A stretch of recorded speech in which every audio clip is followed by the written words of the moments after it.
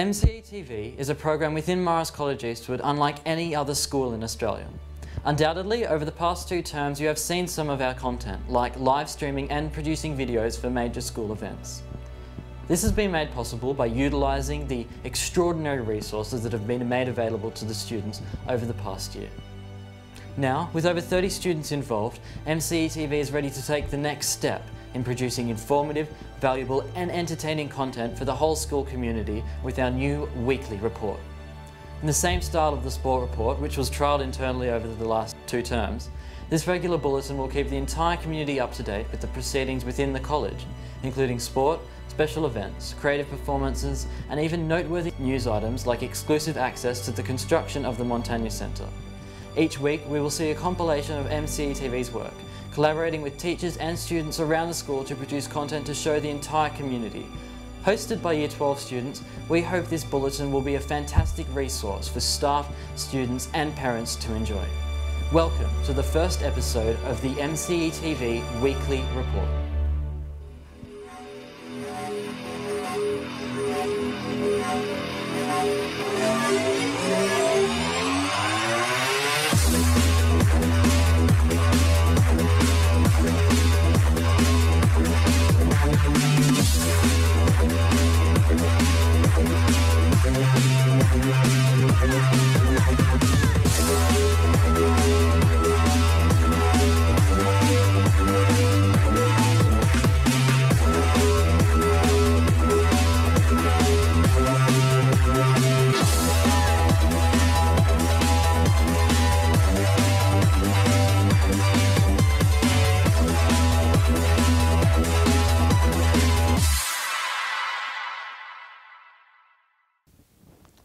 Hello, and welcome to the MCTV Weekly Report. I'm Marcin Poloczek. And I'm Simon McDermott. Each week, this innovative bulletin will give you an inside look into college life. Today, we will take a look at the highlights of MCE at the Granny Smith Festival and recap MCS Sport for the start of Term 4. But first, MCE TV was able to gain exclusive access to take a look at the construction of the Montagne Centre. Jack Kelly has more.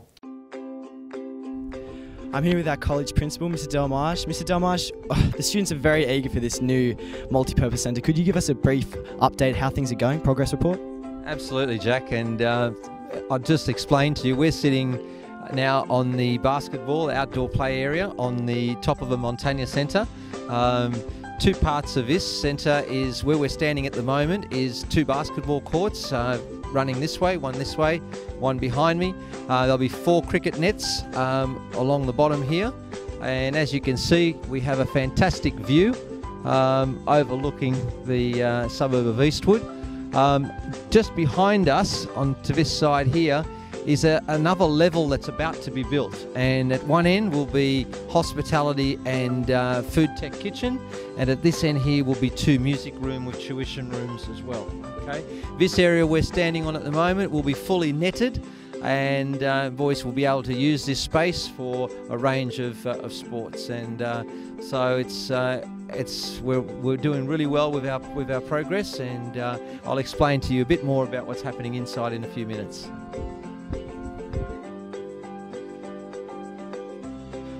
All right, we've just come down from where the two basketball courts are at the top, where people are going to have uh, recess and lunch. Could you give us a quick overview of this, the main hall, and what's going to be in here, sir? Not a problem, Jack. Uh, we're on the on the uh, lower floor, which is the hall of the Montagne Centre. Uh, the space we're standing on at the moment will be two basketball courts uh, running from where we're standing back towards the um, uh, the wall on the far side, and um, to our right is the stage. It's a nice large, stage with uh, zones on either side for for green rooms and so forth. Um, if we walk along the back of the back wall that we're standing here, it'd be a drama room in the in the in the, in the corner on, on the right hand side. Across the middle, where in between the stairwells will be the uh, a kitchenette as well as a lift and uh, change rooms and toilets and so forth. And immediately to the left hand side will be our fitness centre, uh, which will be located in that corner. As you pan around to the left, to, to the left even further, the operable seats will will be lodged against that back wall, which uh, will press a button. They'll roll out to the middle of a hall. Above it is the is, is a mezzanine area where the audio visual equipment will be stored to run the run functions and so forth. And and as we pan, we keep panning to the left and coming around. You see these pink columns. They won't stay pink, but the idea is that that will be all glass coming right around the centre here, so that great spaciousness of, of, of, light coming in, but also a lovely view out over um, over uh, uh, Eastwood. If we have a look back on against this wall here on the upper level, immediately in the middle of the upper level is the foyer, but to the right of it will be a, a, uh, a staff room and to the left of it will be a classroom and storeroom as well. And then you can see the ramp that takes us up to the top. And uh, and we didn't, as I mentioned upstairs, there's still a third floor to be built, uh, which will be uh, done in the next few months, and that will house hospitality and music up the top. Okay, thank you. Well, I can tell I'm very excited. The whole school is very excited. Thank you for giving us your time this afternoon. And yeah, that's a wrap. Thank you. Unfortunately, Eastwood have had a rocky start to the MCS basketball competition. In round one, all basketball teams went down against Blacktown. A grade opened with a quick 5 to 0 score until the slick Blacktown machine got going. The boys worked hard and had great difficulty containing a tall and very fast team.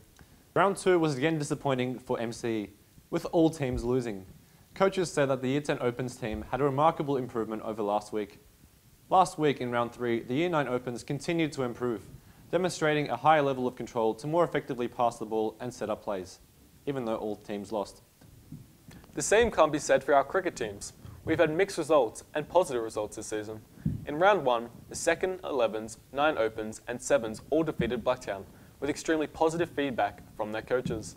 Round two saw a washout for most teams, except for the second 11s, who went down against Penrith. Last week, Penrith defeated our first 11 team, while we were able to beat the second 11. In the coming weeks, we'll catch up with the members of these teams for a recap. Each year, Marist College Eastwood participates in the Granny Smith Festival Parade. It always proves to be a fantastic day for the college. Martin Young has a recap for us. Hi, I'm Martin Young, and this is Granny Smith 2014.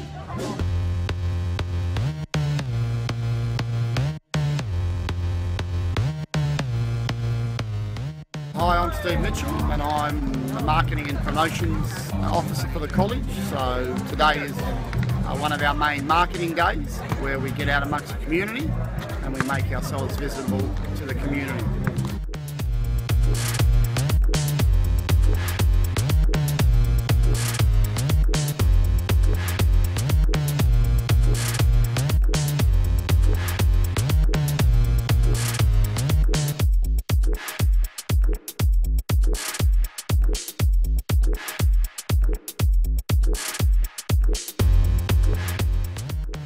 Mr. Delmont, what did you think of this year's Granny Smith? Another successful day. We had a huge number of boys here, and the, the local uh, public loved us and uh, gave us lots of applause, and uh, it was a great uh, show.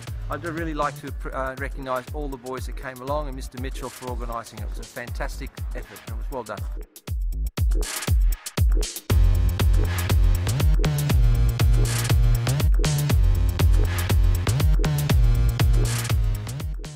Pretty good.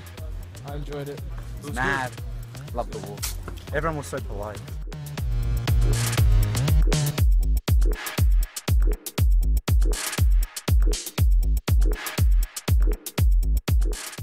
That's all for the first MCTV Weekly Report. We hope you'd enjoy it. We'll see you next week. Goodbye.